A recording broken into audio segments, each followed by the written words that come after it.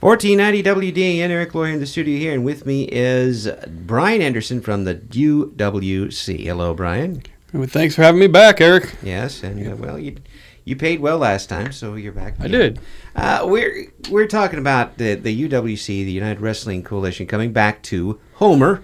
Uh, last time we talked about uh, the Homer show. That was uh, when about three months ago. The last Homer show was May, uh, and that was the very first wrestling event to ever take place in Homer. Yeah. I mean, to, that we know of. If you know of a George Hackenschmidt versus Frank Gotch from 1905, you go ahead and let me know. I wasn't Then we'll when I did that. we'll amend the statement. But until we have proof, that was our you know we started it. Yeah, and and it's at, at the Homer Opera House, and it turned out to be a really nice venue for it. Uh, everything fit well. That got a lot of new folks showed up who hadn't been to, to UWC matches before, and the kids especially had a really good time. Oh, absolutely. The uh, you pointed it out. You did. You were nice enough to do the commentary for that event, and you made the statement that the ambiance there is just is just un, you know, unmatched, and it, it was really nice. Like it was when all the lights are on, you can tell what it is. But when you have the when the show started, like it became a show. It was something. It was something different. It's a, it's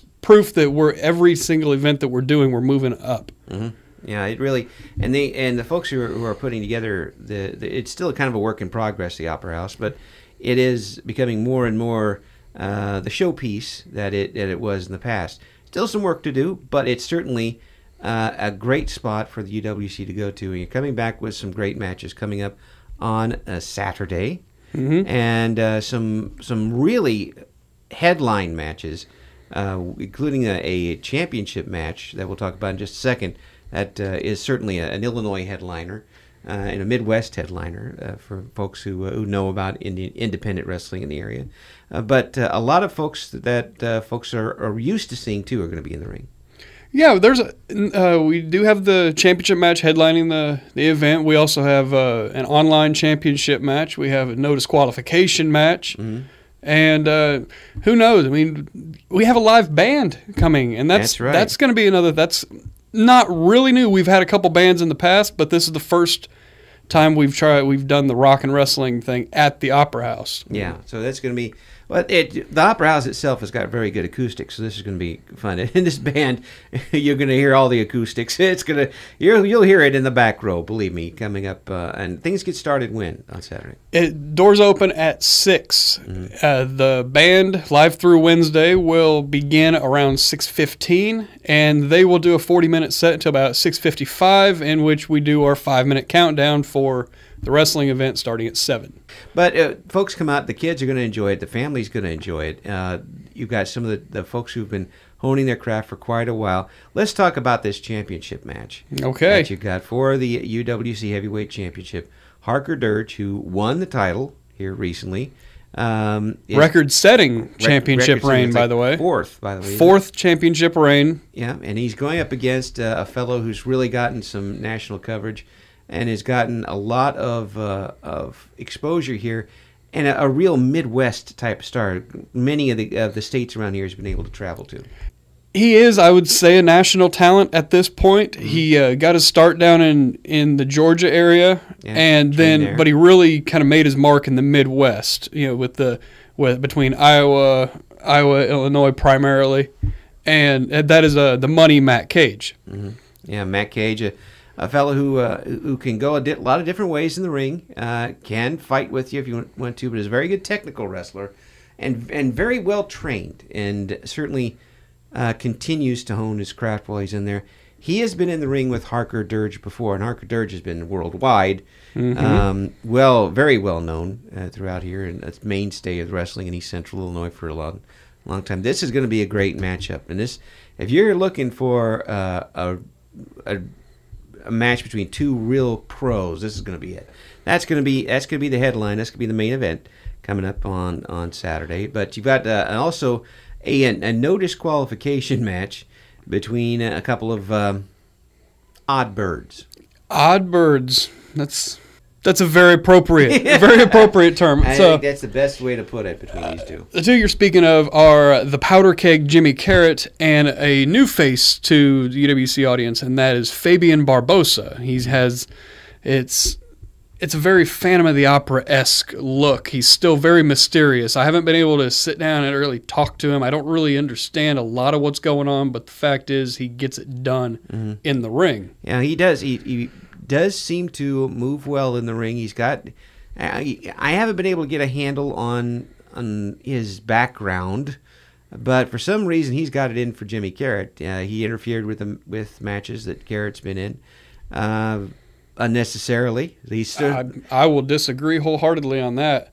I watched I watched what happened June 4th in Georgetown. I watched Fabian Barbosa get his hands on Jimmy Carrot, and I saw Fabian cause Jimmy Carrot to not win well, the, that's what I meant. the online. He, championship. did, he, did, he didn't need to get in the ring other than for his own measure. And because of that, he took out an established made star and put himself on the map. And now people are talking about Fabian Barbosa, Yeah. which before that night, maybe they weren't. Yeah, well, certainly they are now. And that match, anything goes. I mean, no disqualification match means anything goes between two folks who definitely uh, have a different outlook towards things.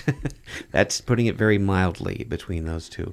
What else have you got for us lined up? Well, I want to give a. Uh, we have an online championship match between Bo Sawyer and a man that's making headlines all over the the Indiana region, around IWA Mid South and the the companies in that general area. His name's Jonathan Wolf. Ah, I've heard about him. I've personally not seen a whole lot of his because uh, I don't know if you've perused the YouTube trying to find independent wrestling, yeah, but tough, not tough to do sometimes. not a lot of quality camera angles and shots No, of, the, true. of these guys. I mean that that comes with time when they start working for the bigger the bigger companies. Mr. Wolf seems like he has a great future ahead of him, and he's got an opportunity of a lifetime to take on a man like Bo Sawyer, Yeah. who is the champion, and he's defending the title at this match. Uh, Bo Sawyer is basically rage wrapped in skin at this point, and uh, is is going to be. It's always tough to, to deal with for Mhm. anybody in the ring because he just he's the type of guy who just take out anything you put in front of him, and he's been able to get that uh, that online championship, and we'll see how this fellow whether he's been in the ring with somebody like Bo Sawyer. I I don't know. Bo Sawyer is an interesting breed of person.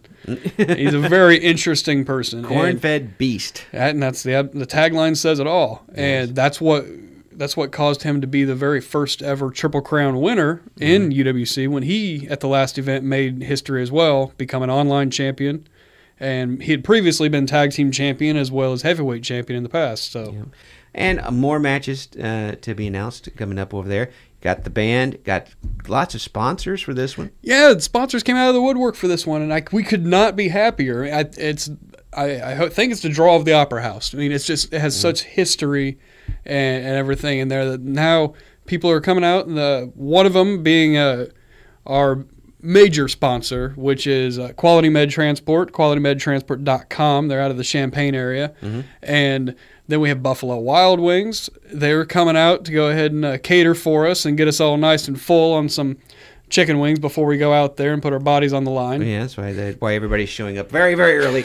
that's what we're. That's that's the plan. Anyway, we'll, we'll see how it actually. We talked we talked out. to the folks there earlier this week uh, with uh, from Buffalo Wild Wings. They're very uh, the fellows really looking forward to this, and we're looking forward to seeing them there. you guys here, 1490 w, WDAN, and as well as 88.7 up there at uh, Parkland College. I mean, both My old Both- alma mater station. right, both both stations really helping us out, trying to get the word out, let people know about this event.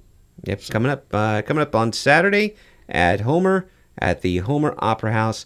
Six o'clock is when the is when the doors open. Six fifteen or so. 6:15 for live through Wednesday. They do a 40 minute set. Yep. And uh, what? How much is it going to cost? It's ten dollars at the door, but if you can find one of us, uh, one of the representatives on the street, or if you want to go to HomerOperaHouse.com, you can get it for eight dollars. Yep. And we'll be there.